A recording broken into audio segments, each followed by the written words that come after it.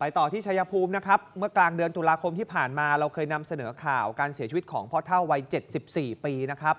ถูกจับมือไพร่หลัง แล้วก็มีการทุบด้วยของแข็งจนตายคากระท่อม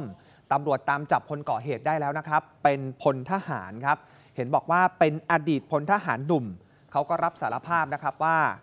เอาเงินของคุณตาไปจริงๆครับแล้วก็มีการทำร้ายร่างกายจนคุณตาตายนะครับ คนที่ก่อเหตุชื่อว่านายจักริดอายุ 33 ปีครับ อดีตพลทหารเกณฑ์ที่สำคัญเป็นลูกจ้างที่อยู่ไร่มันสำปะหลังของคุณตาบุญเฮียงเนี่ยแหละครับ จับได้ตอนที่เขายืนขายหมูปิ้งอยู่ในจังหวัดสมุทรสาคร คือตำรวจก็เข้าไปแสดงตัวจับกลุ่มนะครับ แล้วก็ส่งตัวให้สพทรัพย์ใหญ่ที่ชัยภูมิดำเนินคดีกันต่อในข้อหาฆ่าผู้อื่นโดยเจตนา เพื่อเป็นการชิงทรัพย์ด้วย สอบสวนผู้ต้องหาเขาสารภาพว่าที่ทำไปทั้งหมดเขาเมา แล้วเขาอยากจะได้เงิน 20,000 กว่าบาทเอาไปทำทุนในการขายหมูปิ้ง ก็เลยจับคุณตาใส่กุญแจมือ เอามือไพร่หลังเอาของแข็งตี จนคุณตาเนี่ยตายคากระท่อมปลายนา ท้ายหมู่บ้าน ในพื้นที่อำเภอทรัพย์ใหญ่ ฟังเสียงของผู้ต้องหาเขาสารภาพดูหน่อยนะฮะ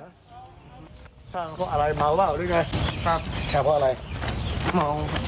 แล้วเงินเขาได้ไปเท่าไหร่นะได้เงินไปเท่าไหร่ตืมไปเท่าไหร่นะสองหมื่นกว่าบาทครับ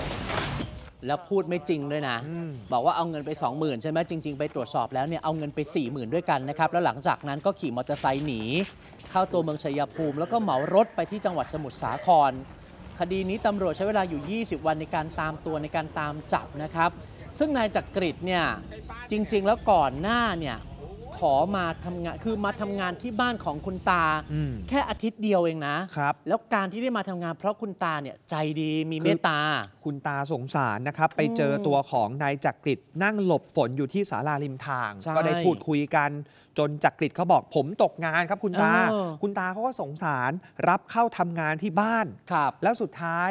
มาฆ่าคุณตานะครับอืมแล้วที่ผ่านมาเนี่ยเท่าที่ทราบจักริดเองเขาก็ดูเหมือนจะเป็นคนดีนะอืมพูดจาดีมีสัมมาคารวะ ช่วยล้างถ้วยล้างจานซักผ้าทำงานบ้าน